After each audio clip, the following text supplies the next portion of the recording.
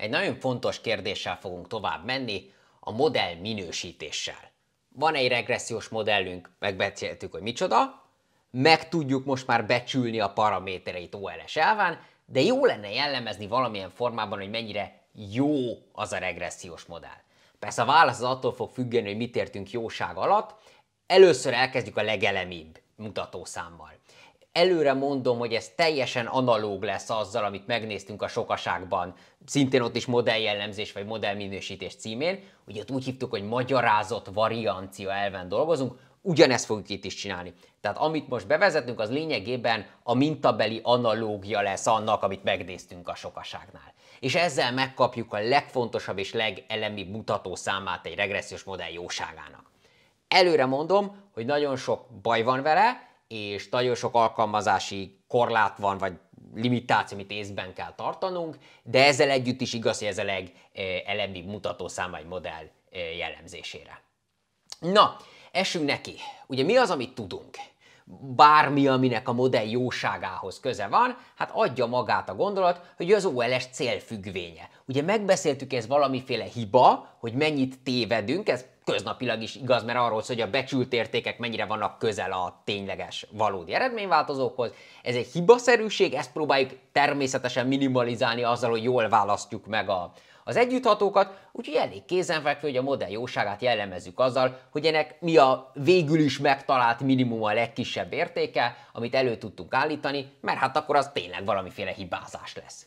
Ugye ez volt az, amit úgy írtunk fel, hogy vesszük a tényleges értékek, meg a becsült értékek különbségét négyzetre emelem, hogy megszabaduljunk az előjeltől, ugye megint ugyanaz a sztori, hogy a statisztikus vicceket elkerüljük, hogyha egyel alálövünk, meg egyel fölé lövünk, akkor nem mondhatjuk, hogy eltaláltuk, és összeadom az összes értékre. Ugye ez igazából persze nem más, használva a később bevezetett jelöléseket, ez igazából persze nem más, mint a rezidumok négyzeteinek az összege.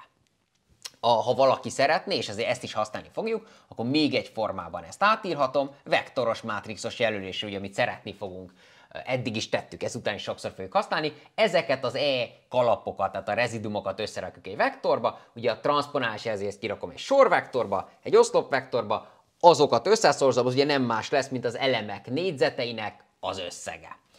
Ezt a kifejezést, tehát ezt a fajta hibázás mérőszámot, ezt úgy fogjuk hívni, hogy hiba négyzet összeg, és úgy jelöljük, hogy ESS. Error Sum of Squares. Itt most muszáj egy félperces kitérőt tartanom, mert en, az, hogy hiba négyzet összegnek hívjuk, meg fogalmilag mit jelent az egyértelmű, de ez a szerencsétlen jelölés, ez nagyon gáz.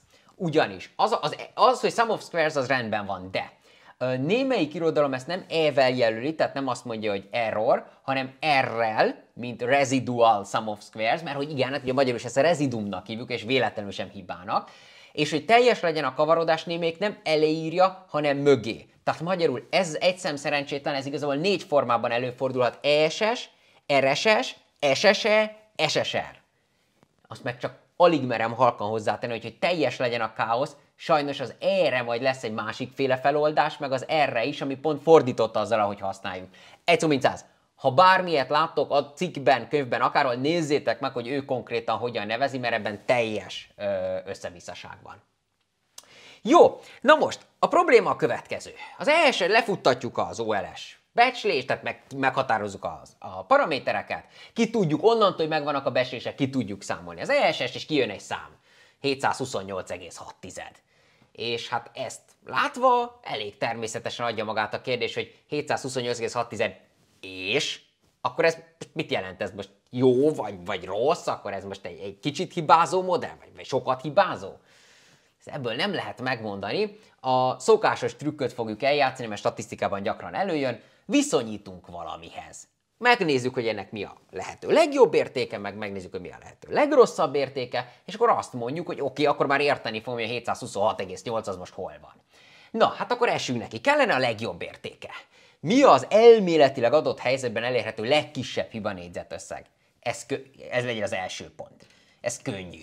Hát az elvileg elérhető legjobb eset, ugye ezt a modellt szokták úgy hívni, hogy perfect modell, vagy szaturált modell, Ugye mitől perfekt az érthető, mitől szaturált, tehát telített, arról majd egy picit később, az természetesen az, ami olyan szuper jó, hogy mindegyik becsült értéke pontosan telibe trafálja a valódi értéket. Ezzel nehéz lenne vitatkozni. Ha ez így van, akkor mindegyik rezidum nulla, ami pedig, ha így van, akkor a rezidum négyzetek összege is nulla lesz, tehát nulla az elsese. Ez az egyik viszonyítási pontunk. Tehát itt le fogom rakni, az egyik viszonyítási pontunk, a perfekt modell az az, aminek az ESS-e az nulla. Ez a tökéletesen jó modell. Igen ám, de kellene nekünk egy másik végpont a skálához. Kellene nekünk a tökéletesen rossz modell ESS-e. És ez már picit zűrösebb. Ugyanis az embernek az első gondolata az az, hogy hát ez hülyeség, hát tökéletesen rossz modell az akármilyen rossz lehet, nincsen felső határa, hát én bármeddig tudom rontani a, az ESS-t, bármennyivel eltérő értékeket becsülhetek, mint a valódi, úgyhogy nincsen értelmes felső korlátja. Nem igaz. Lehet egy módon definiálni egy, egy értelmes felső korlátot, hogy a legrosszabb modellnek is mennyi lehet a, a hibázása. Az alapgondolat az az, hogy az értelmesen definiált legrosszabb modell az legyen az, ami az ég a világon semmilyen külső magyarázó információt nem használ föl az eredményváltozó becslésére. Az ember ezt meghallgatja, és akkor az az első gondolat, hogy hát ezzel nem vagyunk bejebb, ez ugyanúgy hülyeség, hát az a modell, ami nem használ föl külső magyarázó információt, hát az hogy tudná becsülni az eredményváltozót? A válasz az, hogy tudja. Ugyanis, ha van konstans a modellben, az a beta nulla tengelymetszet benne van a modellünkben, akkor külső magyarázó információ nélkül is lehet definiálni, hogy mit nevezek értelmes becslésnek az eredményváltozóra. Első megállapítás, ha nincsen egyáltalán semmilyen magyarázó változónk, akkor bármit is becslünk az eredményváltozóra, mindegyikre ugyanazt kell becsülni. Hát gondoljatok bele, ha nincsen erre magyarázó változónk, akkor meg sem tudjuk különböztetni egymástól a megfigyelési egységeket. Tehát akármit is besünk, az biztos, ugyanazt kell legyen az összesre. Ez az első megállapítás. Második megállapítás, négyzetes hibafüggvényt használunk, négy, a hiba négyzetösszeget próbáljuk minimalizálni. Tehát lényegében a következő a kérdésünk, egy számot besünk az összesre, az a kérdés, hogy van egy sor eredményváltozónk, melyik az a szám, amire igaz lesz az, hogy a tőle vett eltérések négyzetösszege minimális. És ez a probléma megoldható. Sőt, nem csak, hogy megoldható, szerintem ez ilyen stat egyből, ha csak úgy szörmentén is, de meg szokták említeni. Ugyanis ezt a számot, ami igaz az, hogy egy adott szám halmaztól a legkisebb az elemektől vett eltérés négyzetek összege, azt úgy hívják, hogy átlag. Azaz lehet értelmesen definiálni egy ö, legrosszabb modellt is. Ezt úgy szokták mondani, hogy null modell, ami pedig azt tudja, hogy mindegyik becsült érték az az eredményváltozók átlaga. És ez egy értelmesen definiált legrosszabb modell, vannak valamilyen rezidumai, van valamilyen ESS-e, írjuk föl, ezt az ESS, írjam, hogy null, tehát a, a, a teljesen rossz modell ESS-e, az nem tudjuk, hogy szám szerint mennyi lesz, ez ugye helyzetről helyzetre változik, de definiálni tudjuk, hogy micsoda, yi mínusz y átlag nak a, nak a eltérés négyzeteinek az összege. Bocsánat, itt nincsen i. Pont. És ezt, mivel ez annyira fontos lesz azért, hogy ezt a, a határokat meg tudja adni, erre bevezetünk egy külön elnevezést és jelölést. Ezt úgy fogjuk hívni, hogy teljes négyzet összeg, Total Sum of Squares, TSS, Szerencsére itt a T betűben nincs ingadozás, ezt mindenképpen T-vel hívjuk, abban esetleg van, hogy néhol SST-t is láthattok akár. Azaz, a viszonyítási pontjaink bármilyen modellnél. A legjobb helyzet az, ha az ESS nulla, ugye én ESS skálán értve, a legrosszabb helyzet az, ha TSS. Adott eredmény változóra, ha van konstans a modellben, ezt hozzáteszem, hogy ez, ez csak itt nyer értelmet, akkor ezen határok között vagyunk, és akkor már is értelmet nyer a 726,8. Mert ha azt mondom, hogy a TSS az 1000, és azt mondom, hogy nekem pedig 726,8, akkor az azt jelenti, hogy itt vagyok. Ez az én tárgymodellem ESS-e. És akkor már is érzékeljük, hogy hol vagyunk, hol járunk, mennyi, mennyire jó a modell, ugye ma már mihez viszonyítani. Talán ezt a legcélszerűbb úgy felfogni, hogy azt mondom, hogy ha semmilyen magyarázó változót nem használunk, akkor indulunk a TSS-ből.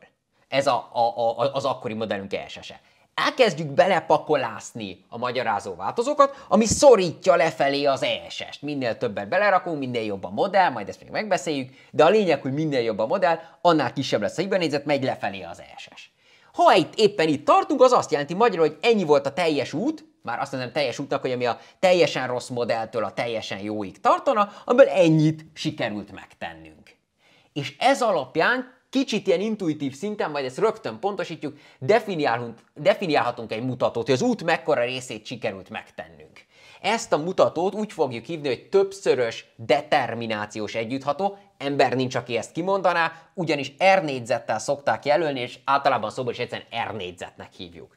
És úgy definiáljuk, hogy azt mondom, hogy a teljes út hossza az TSS, és megnézzük, hogy ennek mekkora hányadát tettük meg. Hát ugye ez az, amit megtettünk, ez, amit javított a modell, ez ugye nem más lesz, ami itt van, mint TSS mínusz ESS. Ugye, mert ez a hosszúság TSS, ez ESS, tehát ennyit sikerült javítanunk. Úgyhogy a modellünk ilyen értelemben vett mutatója, az nem más lesz, mint hogy azt mondom, hogy a TSS mínusz ESS-t viszonyítom a TSS-hez. Mekkora részét tettük meg az útnak, ami elemi átrendezéssel nem más, mint 1 mínusz ESS per TSS. És ezt használjuk a leg elemibb jellemzésére egy modell jóságnak, ez nyilván a nullától egyig meg, ahol a nulla az az, hogy meg sem moccantunk, azaz a modellünk továbbra is a teljesen rossz modell, az egy pedig az, hogy leküzdöttük a teljes utat, azaz elértük a tökéletes modell uh, helyzetét. Ha van konstans a modellben, ezt megint hozzáteszem, az R négyzet az mindenképpen 0 és 1 között van.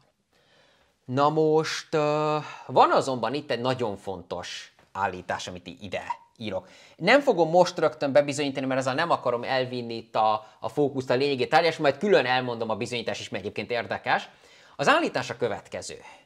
Ö, fogom magam, és veszem azt, hogy y mínusz y átlag a négyzeten, ugye ez magyarul ez a TSS, és az állítás a következő, egyenlő 1-től n-ig, yi mínusz yi kalap a négyzeten, plusz szumma i egyenlő 1-től n-ig, yi kalap mínusz y átlag a négyzeten. Ez egy állítás, ezt be kell bizonyítani. Nem is olyan tökéletesen triviális a bizonyítása. Tehát nehogy valaki azt higgye, hogy itt most valami, nem tudom, ilyen nyilvánvaló azonosságot írtam föl. Ez egy picit küzdeni, hogy ezt bebizonyítsuk, de most egyelőre higgyétek el, hogy így van. Ugye, ha letakarnám a négyzeteket, akkor nyilvánvalóan így van, mert ugye itt a mínusz meg a plusz kiesik, tehát visszakaptam ugyanazt. Az az érdekes, hogy négyzetekkel együtt is igaz. Ha ezt most képzeljük azt, hogy ezt bebizonyítottuk, akkor viszont valami érdekes dolgot találunk. Ugyanis ez, amit ide írtam, ugye ez magyarul azt mondja számunkra, hogy ez ESS plusz ez a kifejezés itt, és akkor hagyj vezessen be a, hagyj vezessek be erre egy nevet, és ezt tulajdonképpen egy kicsit tovább is pofozgatom, ezt a TSS mínusz ESS-t. Ezt úgy fogjuk hívni, hogy RSS.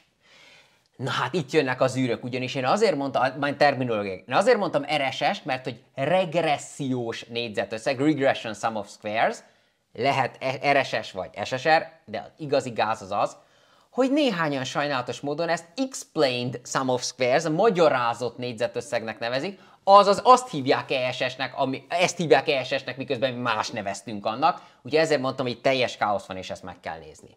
A, ami azt is jelenti, még egy, ide visszatérek egy pillanatra, hogy az R négyzetet azt így is felírhattam volna. Na most, itt az RSS-nek van egyféle definíciója.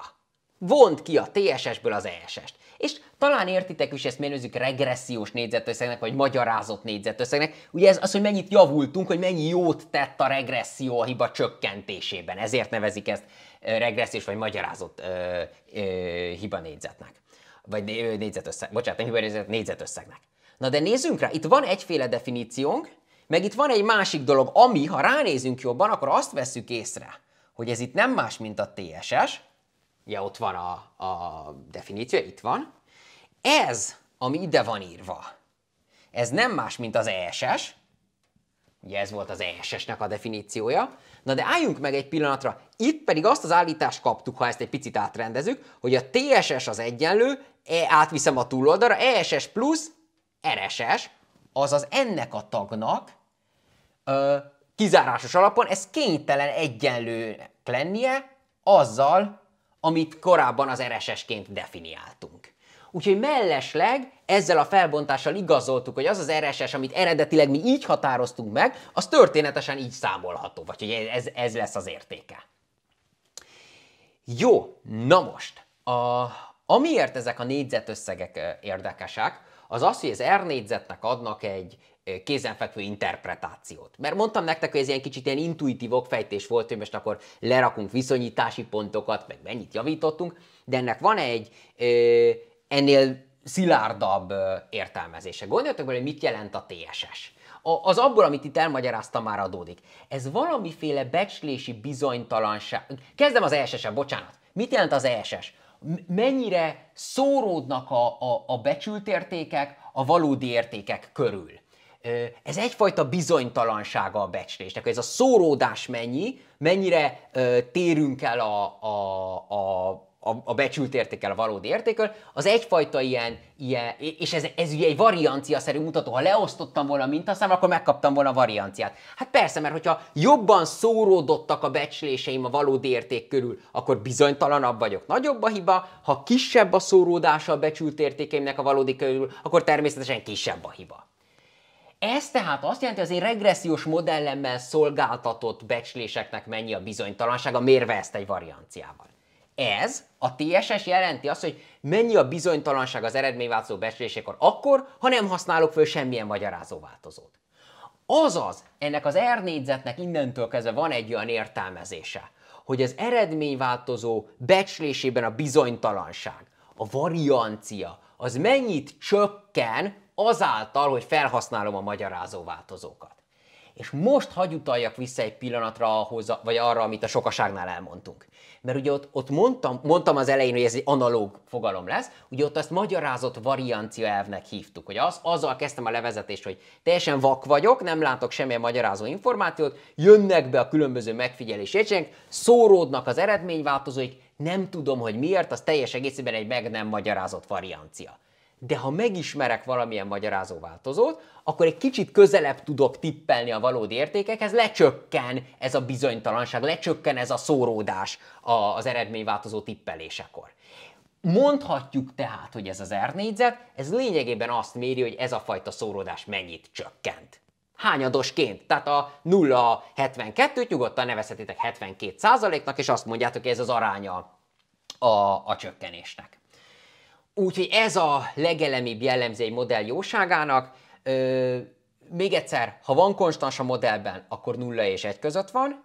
Interpretálható olyan módon, hogy a bizonytalanság mérve ezzel a varianciával mennyit csökkent, ami tényleg azt jelenti, hogy mennyi a, a varianciának a megmagyarázott része, tehát az eredményváltozó szóródásának, mekkora részéről ad számot a, a, adnak számot a magyarázó változók, vagy a magyarázó változók ismerete.